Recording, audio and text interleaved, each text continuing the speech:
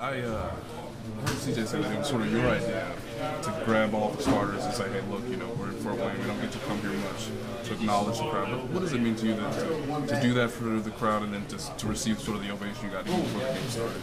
Well, you know, we still feel like this is home. Um, we're in Indiana, and uh, you know, for them to still come out and support us, and uh, for us to be able to extend um, out of Indianapolis into Fort Wayne, um, it's huge.